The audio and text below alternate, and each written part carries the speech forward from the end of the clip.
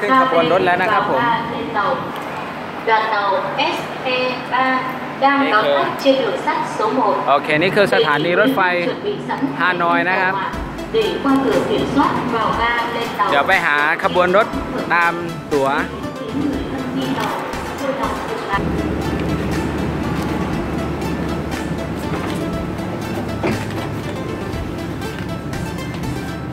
นี่นะครับภายในข บวนรถ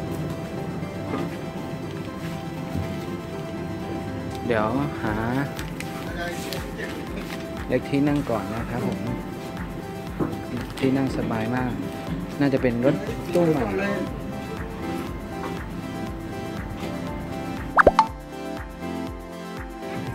Chúng tôi là tổ tiếp viên Trên tàu và tiếp viên đường sắt phương Nam Trung tâm thông tin vận tải đường bộ biển địa phương cần được hỗ trợ hỏi thông liên hệ นี่คือร้านค้าเปิดริมทางรถไฟอย่างน่าหวาดเสียวเลยนะครับโอ้โห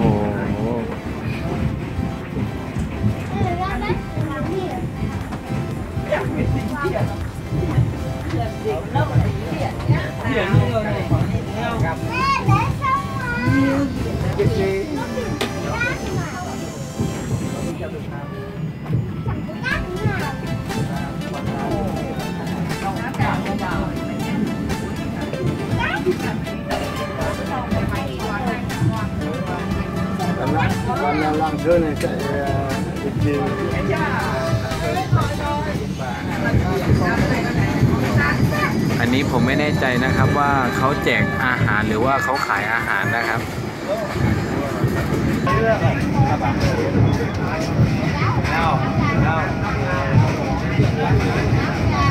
Buka buka sangka mesra berare. ตอนนี้พนักงานก็มาอีกคันหนึ่งแล้วนะครับรถเข็น เหมือนน่าจะเป็นข้าวต้มหรืออะไรสักอย่างนะครับ เมื่อกี้ควันเยอะมาก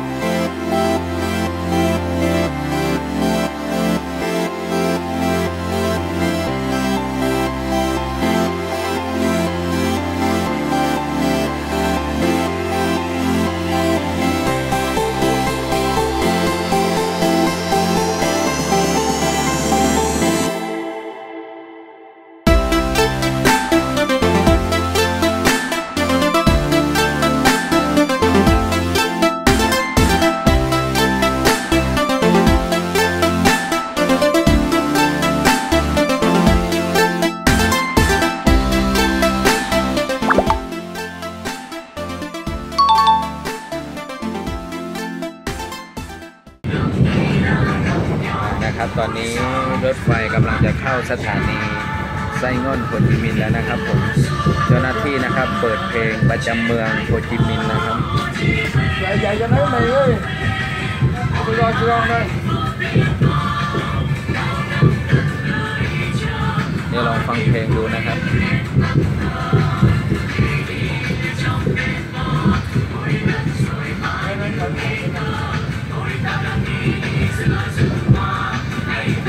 นะครับอมยิ้มกับเจ้าหน้าที่นะครับให้คนถ่ายอยู่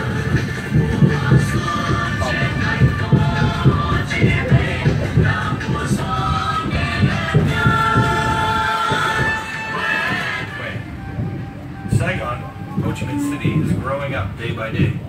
It is a worthy city bearing the name of Uncle Ho.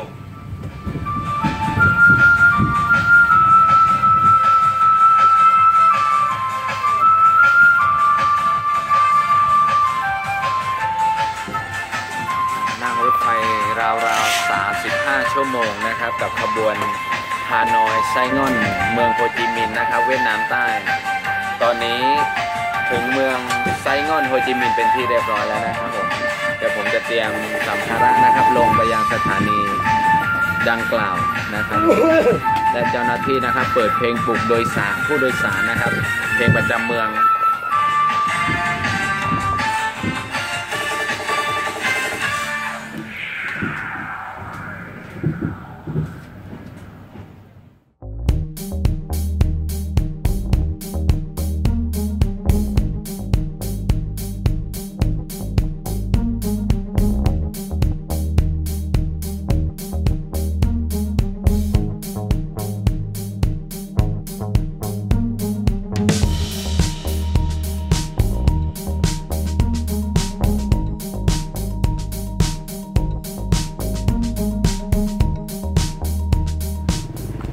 นี้นะครับคืออยู่ที่สถานีรถไฟไซง่อนนะครับ ซึ่งเป็นชื่อชื่อเก่าของเมืองโฮจิมินห์นั่นเอง แต่ทางสถานีรถไฟยังใช้ชื่อไซง่อนอยู่ และทีนี้เนี่ยผมต้องการที่จะเป็นเมืองผ่านนะครับ เพื่อที่จะเข้ากัมพูชา แต่ผมก็ขอแวะเที่ยวเมืองโฮจิมินห์ landmark สักสองสามที่ ก่อนที่จะเข้าไปกัมพูชานะครับ จากที่ว่าผมเดินเซอร์เวย์เมื่อกี้เนี่ยก็ บ้านเมืองก็ไม่ต่างจากฮานอยนะ แต่ดูบรรยากาศเมืองแล้วเนี่ยน่าจะเจริญกว่านะเจริญกว่าฮานอย รถแท็กซี่ รถเมย์ทุกอย่างเนี่ยจะเยอะกว่าฮานอยนะครับเนี่ยคือนี่คือทางออกนะครับของสถานีรถไฟไซง่อน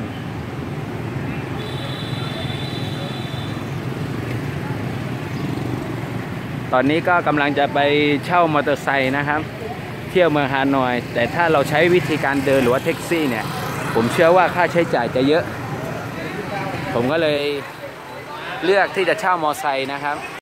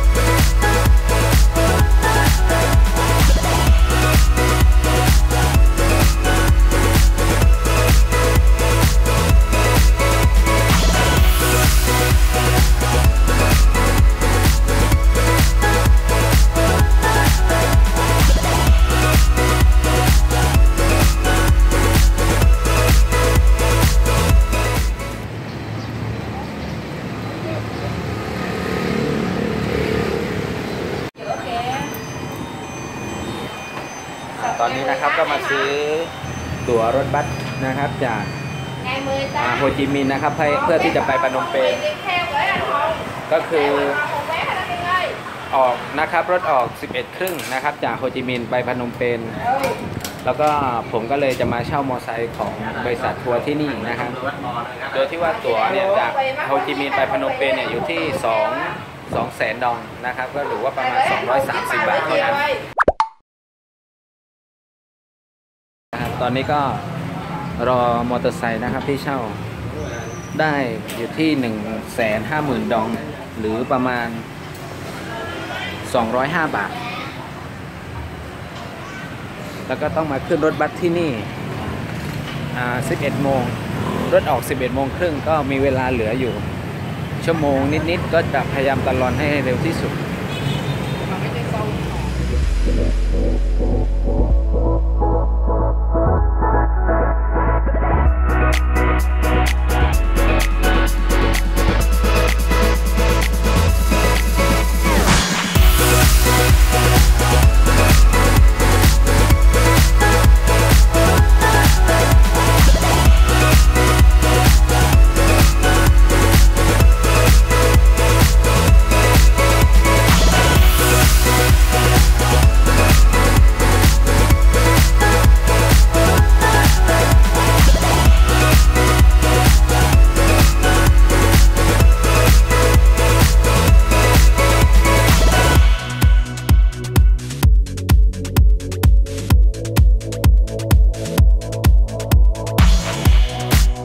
นนี้นะครับก็คืออยู่ที่แม่น้ำไซง่อนนะครับ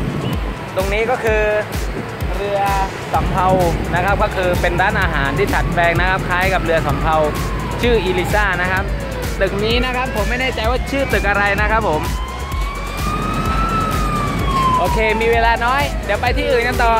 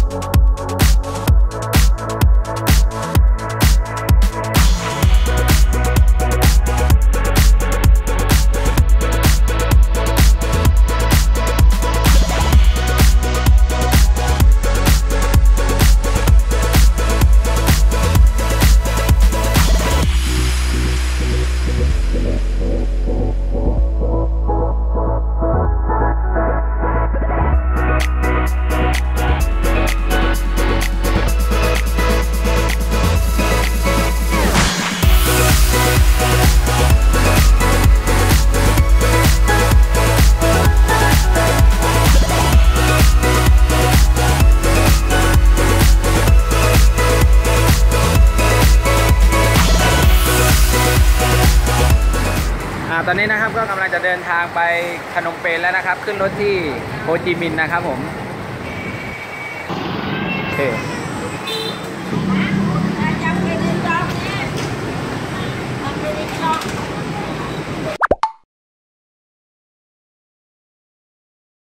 นะครับ จากที่นั่งรถบัสจากฮานอยไอ้จากโฮจิมินห์นะครับมา ประมาณ 3 ชั่วโมง ก็มาถึงที่ด่านนะครับ ฝั่งฮานอยไอ้ฝั่งเวียดนามที่จะเข้ากัมพูชานะครับผม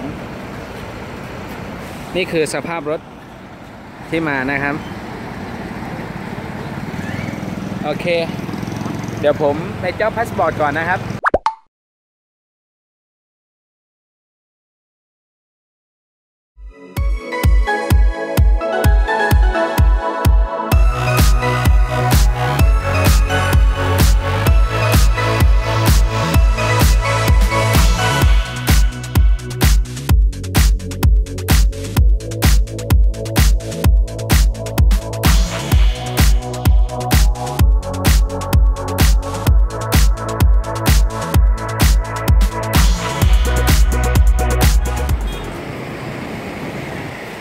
คือสภาพเมืองนะครับ ใกล้กับชายแดนกัมพูชาเวียดนามนะครับ ตอนนี้เนี่ยก็คือมาอยู่ที่จุดพักรถของรถทัวร์ของบริษัทนี้นะครับ ก็คือให้ผู้โดยสารเนี่ยมาแวะดื่มน้ำปัสสาวะตรงนี้นะครับผมแล้วก็อาหารต่างๆ สังเกตนะ ฝุ่นเยอะมากนะครับจะบอกว่าถนนไม่พัฒนาหรืออะไรยังไง นี่สังเกตรถพ่วงนะครับ นี่ประเทศไทยไม่มีนะครับ รถพ่วงลักษณะนี้นะครับ อยากจะตั้งคำถามนะครับ ใครรู้บ้างว่าทำไมประเทศไทยไม่ใช้หัวรถพ่วงอย่างนี้ เวียดนามนะครับกับกัมพูชาเนี่ยเห็นวิ่งกันเยอะมาก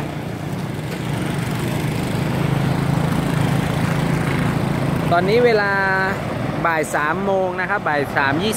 20 ก็จะเข้าไปยังเขตแดนเอ้เข้าไปยังเมืองหลวงของกัมพูชานั่นก็คือพนมเปญนั่นเอง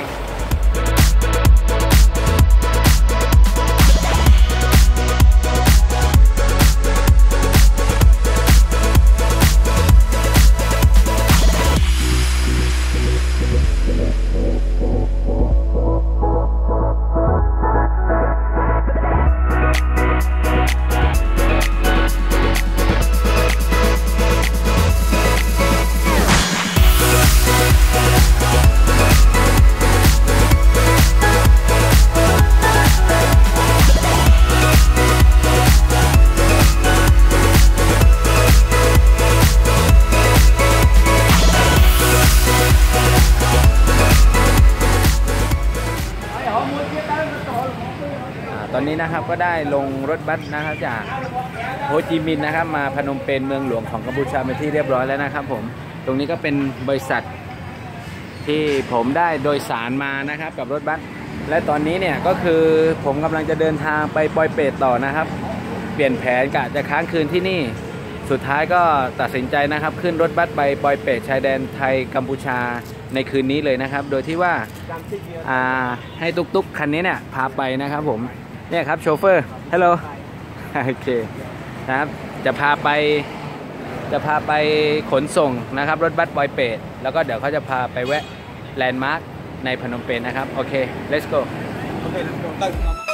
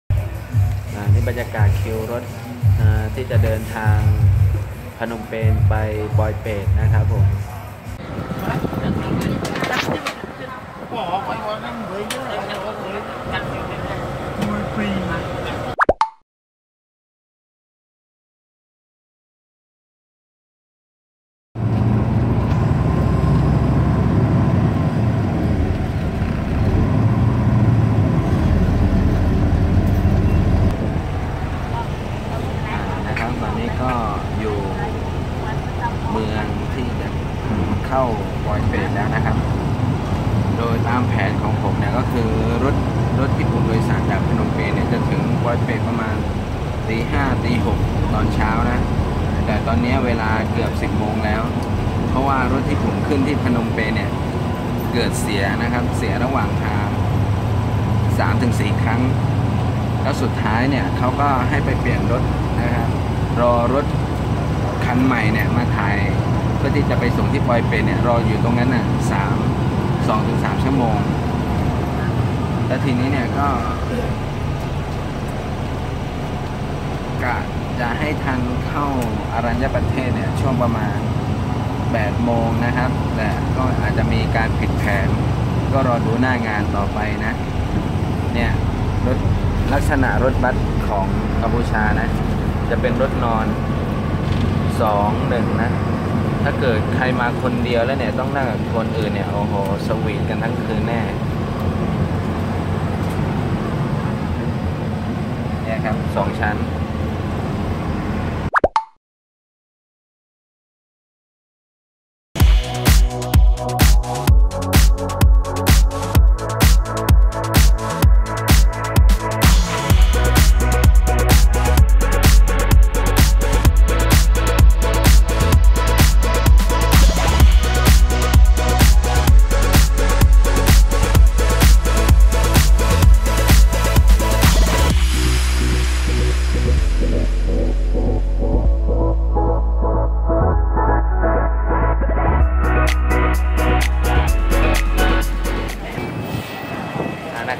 ก็ถึงที่ด่านปอยเปตแล้วนะครับผม